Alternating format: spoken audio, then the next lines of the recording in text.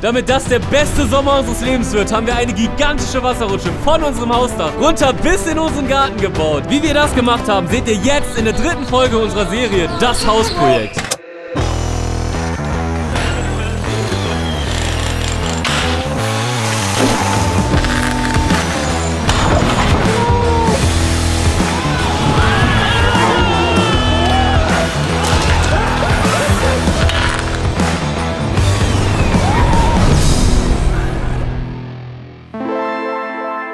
Ich habe mir als Kind immer gedacht, dass es mega nice wäre, wenn man so ein Dach einfach runterrutschen könnte. Ich finde es schon eine sehr naheliegende Idee. Deswegen bauen wir jetzt eine Wasserrutsche von ganz oben vom Dach bis hier nach unten. Am Ende kommt dann eine Sprungschanze bis ins Wasser rein. Und das Ganze wird so breit, dass da hoffentlich mehrere Leute nebeneinander rutschen können. Ich würde sagen, wir überlegen uns jetzt, wie wir das bauen.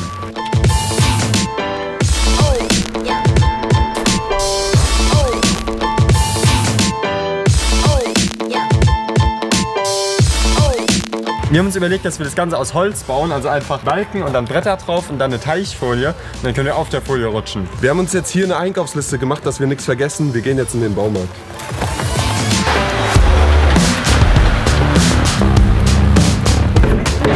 Daniel, was machst du da? Mach einen Stabilitätstest. Ich gucke, ob die Platten brechen. Wir testen es jetzt mal echt, echt. Also so, wie es sein wird. Die Dinger halten auf jeden Fall. Wir bauen jetzt 30 von den bisschen schmaleren Balken und 15 von denen.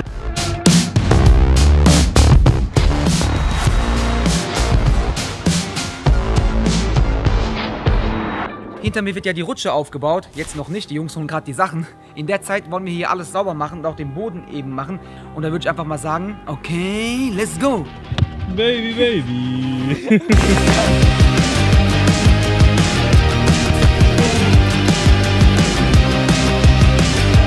Wir starten jetzt und machen hier zusammen den Kies weg.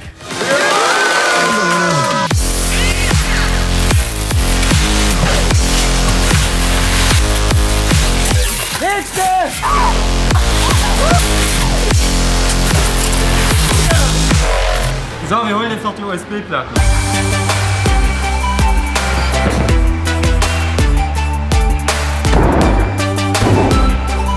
Darf ich fragen, für was das alles hier ist? Wir bauen eine Wasserrutsche vom Dach runter bis in den Garten und dann kommt da eine Schanze in den Pool rein. Okay. Wir sind jetzt fertig mit dem Einkauf. Wir haben echt so viele Sachen eingekauft. Ich würde sagen, jetzt können wir starten mit der Rutsche. Wir gehen jetzt aufs Dach und suchen nach stabilen Befestigungspunkten. Und damit das Ganze sicher ist, ziehe ich mir einen Klettergurt an. Let's go! Los geht's!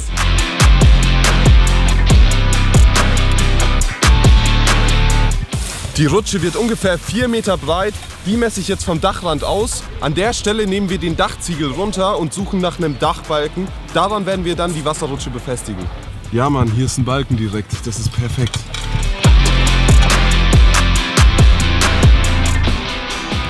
Dieses Seil mache ich hier oben am Dach fest. Das benutzen wir als Richtlinie, damit wir genau wissen, wo wir die Stützpfeiler für die Wasserrutsche montieren müssen.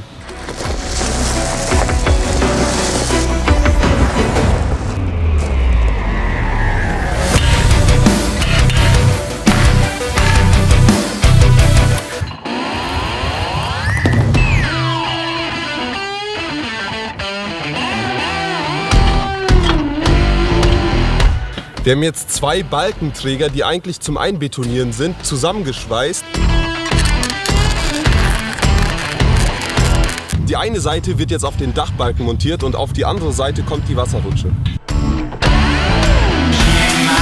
She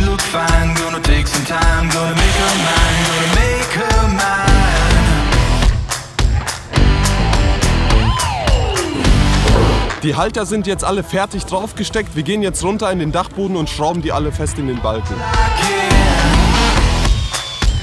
Bombenfest.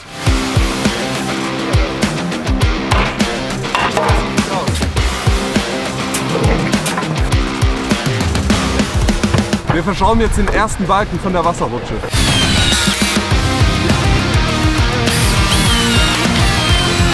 Ey Daniel, wenn ein Passant hier vorbeikommt, was glaubst du, was er denkt, was wir hier oben auf dem Dach machen? Wir reparieren das Dach.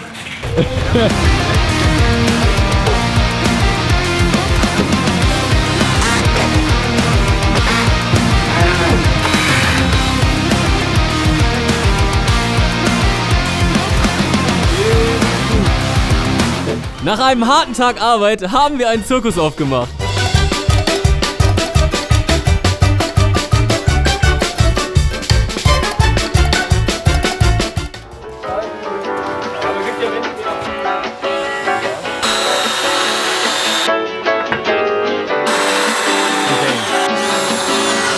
Gestern sind wir schon richtig weit gekommen. Heute bauen wir die Rampe fertig. Bevor es mit der gigantischen Holzkonstruktion weitergehen konnte, mussten wir den Boden ebenerdig machen. Dafür haben wir uns einen Bagger besorgt. Los geht's!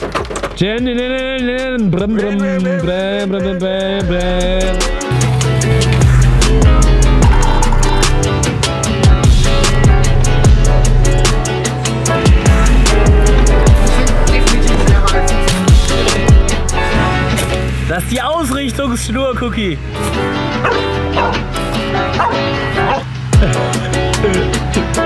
Komm, Cookie, tiefer.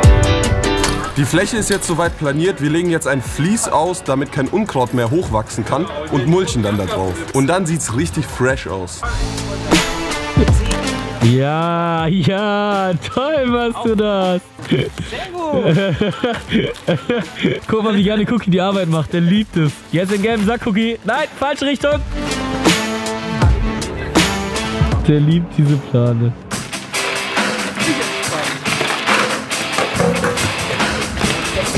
Ist das so richtig eigentlich? Ja, so funktioniert eine Schubkarre. Hey Daniel, du musst ihm, glaube ich, nochmal erklären, wie eine Schubkarre funktioniert. Ja, der hat das auch richtig gemacht. Echt? Ja? Oh, dann musst du mir vielleicht erklären, wie eine Schubkarre funktioniert. Während unten fleißig gemulcht wurde, haben wir auf dem Dach angefangen, die Querbalken zu befestigen.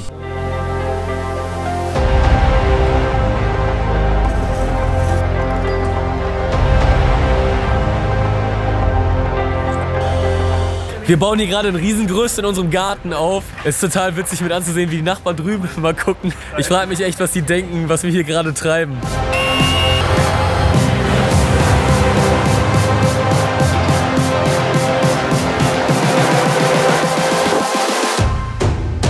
Es ist soweit, hier oben kommt jetzt die erste USB-Platte dran.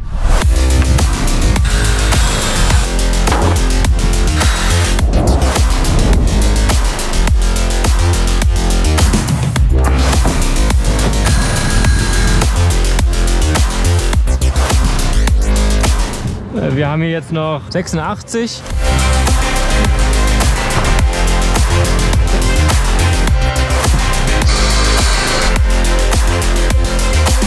Wir haben hier ein riesiges Loch gegraben.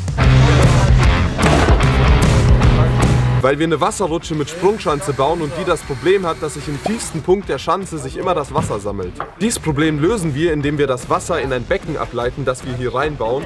Und von hier aus pumpt eine Pumpe das Wasser wieder hoch.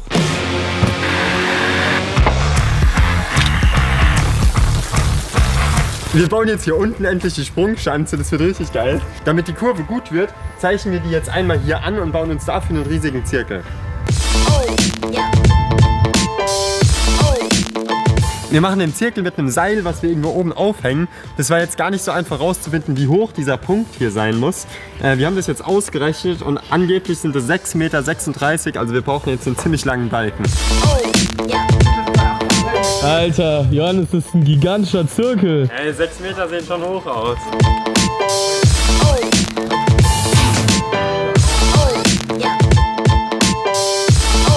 Ich zeichne jetzt hier mal die Höhe an und dann äh, bauen wir hinten die Balken genau auf die Höhe, dann sollte es eine schöne Kurve werden.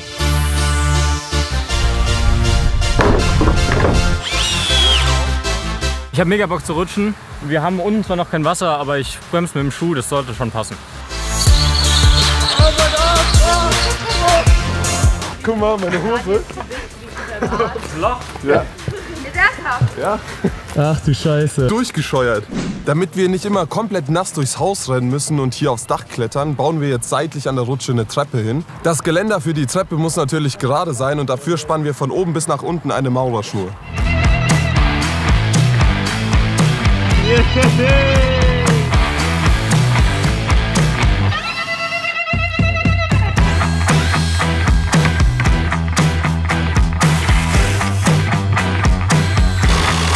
Janet schneidet jetzt die Treppenstufen zurecht äh, und ich montiere die.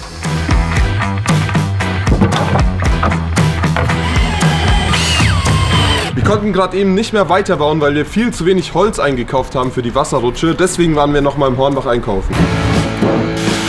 Neue Holzlieferung. Wir bauen hier oben eine riesige Plattform, damit wir mit richtig vielen Leuten hier runterrutschen können.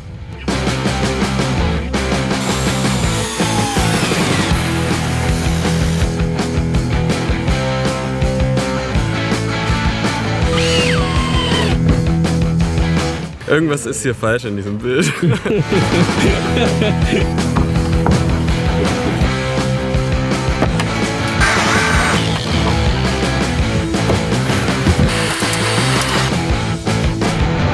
Die Plattform ist jetzt fertig, wir sehen uns morgen wieder. Was ist das denn hier für ein Seil? Das ist fürs Geländer. Ey, ich lehne mich da nicht an an dem Geländer. Das ist auch dafür da, dass du da Abstand hältst. Ja, das ist das perfekte Geländer, tatsächlich.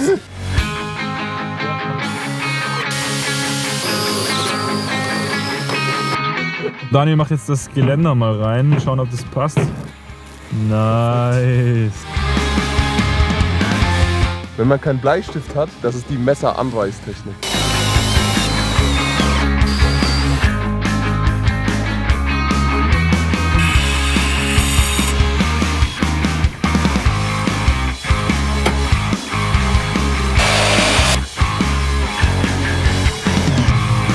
Die Balken hier haben jetzt alle die richtige Länge. Wir stellen die jetzt hier hoch und dann sollten wir diese Kurve hier hinkriegen.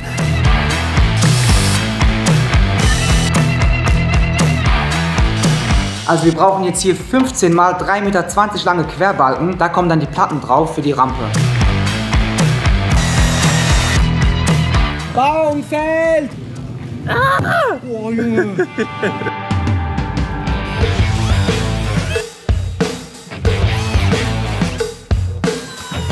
Ich frage mich, warum die sowas nicht in der Schule beibringen. Rutsche bauen. Das ist total sinnvoll. Julius, wenn du dir die Rampe jetzt schon so anschaust, was meinst du, wie hoch wird man fliegen? Können wir mal kurz gucken gehen? Man startet von zwei Metern und ich hoffe natürlich, dass man im Baum landet. Und im Worst Case landet man bei den Nachbarn. Hier unten für die Rampe haben wir jetzt die bisschen dünneren Platten, die kann man ganz gut biegen. Wir schrauben die jetzt drauf und dann sollte die Rampe schon fast fertig sein.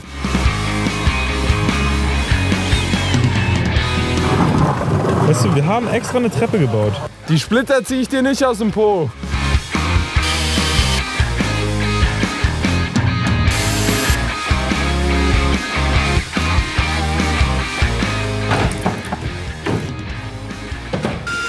Wir hatten hier gerade eine harte Diskussion, ob man äh, am Ende im Baum landet oder ob man nicht weit genug kommt. Deswegen äh, lassen wir jetzt den Ball runterrollen und hoffen, dass wir so ein bisschen sehen, wie man ungefähr fliegen könnte.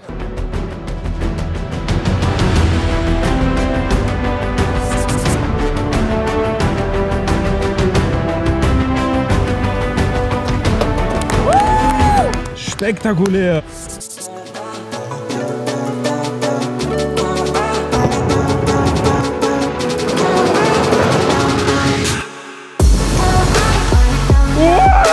Das fliegt schon echt weit. Und ich glaube, man rutscht schneller, als das Longboard fährt. Safe. Mit Wasser Ja, und fliegst- Folie. Du fliegst so weit. Seid ihr soweit? Johannes, hast du Schiss oder warum hast du hier so ein Ja, ich Schutzschild habe hier so ein Schutzschild gemacht, damit ich nicht vom Reifen zermatscht werde.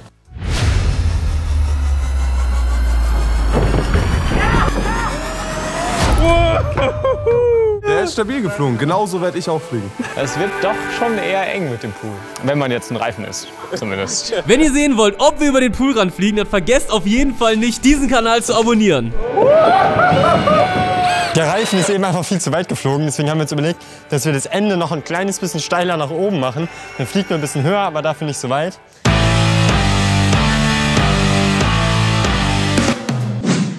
In der nächsten Folge zeigen wir euch, wie wir die Teichfolie auf die Rutsche kleben und den gigantischen Pool aufbauen. Außerdem laden wir unsere Freunde zur Poolparty ein und machen den allerersten Rutschtest.